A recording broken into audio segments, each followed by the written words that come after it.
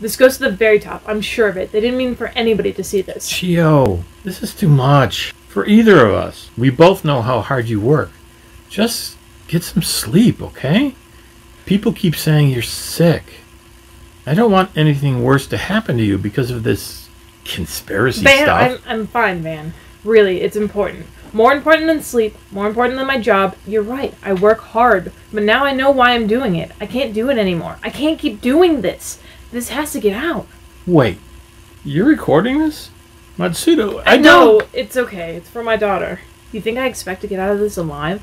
They're already talking about surgery for my sickness. A digital voice box? One of my own designs. Oh, God, Chiyo. I have a strong box they set up where they let me send her letters once a month. I know the responses they give me aren't really hers, but it's my only chance. If I sneak a code in, she'll know what it means. She'll know what to do. She's got friends, Van. Friends in the stars. I, I don't know, Chiyo. This sounds too risky. I need I need to go. I, I don't think it'll be good if I'm seen with you anymore. I'm I'm sorry.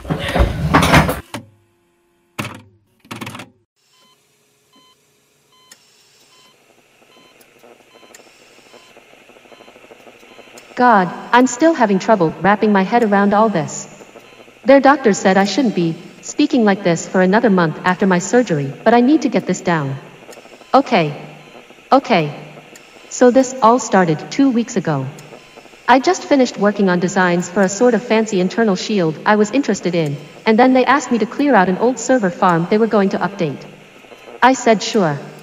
Nothing weird about that. Run of the mill, tech shit, I do that all the time. So I did, regular procedure, all on my own. I'm not now, but I was a trusted employee. Always the curious fucking idiot, I wanted to see what useless data they were getting rid of, maybe it could be sold off or was actually interesting. Maybe it could get me off this shithole rock. But no. Much worse. A whole boatload of data, videos, images, text documents, all pertaining to something called the Godfoils. Official shit, too. Some go as far back as the late 2020s, from NASA computers on Earth. No joke. I was giddy. Felt like, I dunno, I felt like someone in a story. Finding all this spooky corrupt government stuff, confirming what I already thought. Obviously, it went downhill from there. The second I shared it with somebody, they ratted, and the factory militia came down on me. Said I talked too much, that I must have a sickness. That's how I ended up with this thing in my chest, speaking like this. So they could monitor my words. That's why I have to get this out quick. So they wiped all the data. Like I was supposed to. Shoved me in this room and sliced me open. But they can't remove it from my brain. I'm a smartass, girl. And I know you are too, just like your mom. I just hope you get this. Okay, sorry. The God foils. Basically, back in 2025 and Voyager 1 was supposed to die, NASA lost comms with it. All normal, right? No. It went two weeks early. When it came back online, the small bits of data they could scrape together seemed to say it struck something. Something big. About the size of a planet. A big fucking planet. All the adorable Facebook memorials had to be rewritten, and NASA, struck by a nationwide curiosity, sent a vessel out after it to see what happened. Then it faded into obscurity for about 50 years. 6.25 presidents later, they brought back pictures and much more. Pieces of what seemed to be black and red soft stone, wrinkles like a human brain spilling over the mass of it. Alongside the remains of Voyager 1, they had brought home chips off the block of a god. An elder god of fear. The slaughter, to be exact. Yes, I know this sounds actually insane, newer, but it's the truth. I've been working with this stuff for years, without knowing it. I know how it works, I know it feeds on fear. I've seen other varieties of it. I know what it can do to humans. And it did. It certainly worked on those NASA scientists, from what the records show. Extremely long files dictate discussions they recorded with this thing they called Dalinar. None of them are audio, thank God, but even the words. It's filled with hunger, constantly egging on those in the room to up and murder each other. All contained in a tiny black rock. Over the span of a few years, this entity shared its knowledge of creation and the universe. It referred anything other than itself as God foils, and itself as God. At least a part of a god.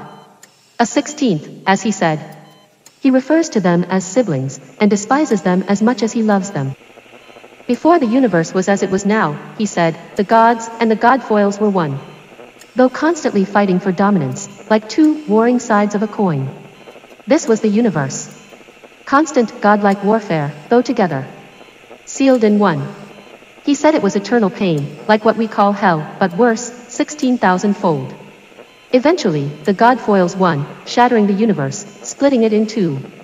One half, the gods rule over, the other, the godfoils, who spent billions of years in thought, before agreeing upon a few basic facts. This must have happened before. This will happen again. And no matter what, newfound freedom must be felt by all.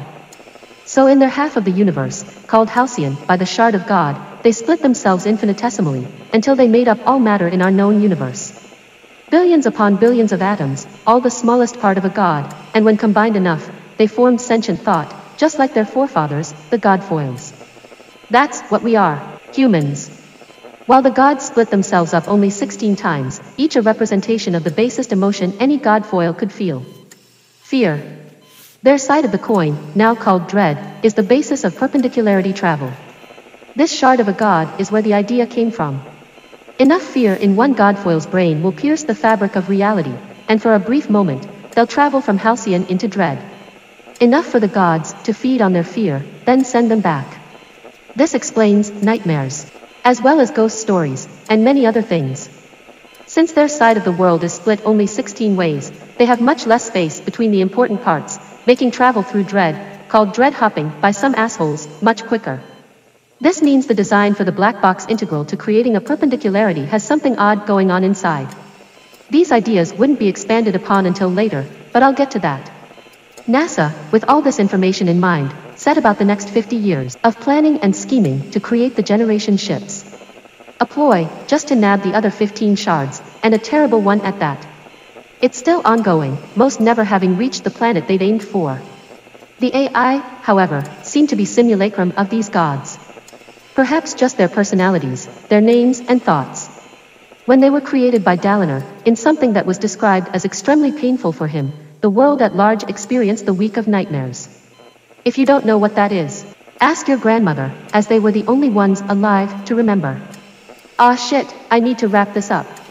My daughter, I truly hope you get this message and share it with your star friends. Someone needs to do something about this.